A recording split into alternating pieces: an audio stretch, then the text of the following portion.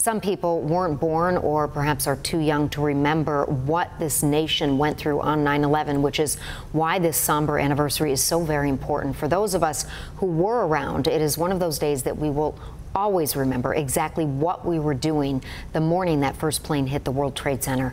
Tonight, our Michael Schwartz giving a voice to Western New Yorkers who will never forget as they reflect on a day that changed our country forever. It hurt. It hurt. You see those lives lost? I thought it was a movie. It was beyond belief.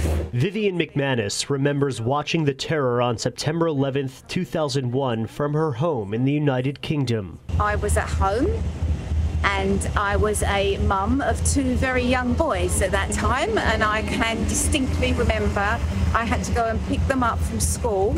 It was about three o'clock our time, and I can remember I heard it on the television. I think that was when I first heard for the UK time. McManus, who is visiting Buffalo, tells me the heartache was felt from across the pond. I don't think it matters what nationality or where you originate from as a human being, you've always got empathy for others.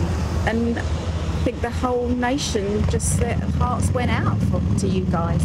More than 60 people from the UK were killed in the attacks. America under attack. Byron Morris says it's hard to recall what happened 23 years ago. People I knew went to New York City to visit, and some people was in the building got caught, and their bodies never been found to this day.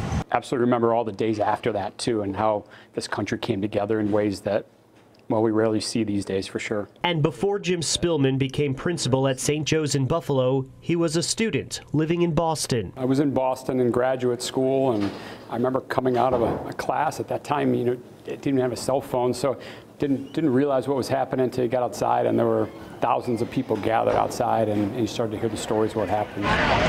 The stories are endless, from voices that will forever share to remember the faces we'll never forget.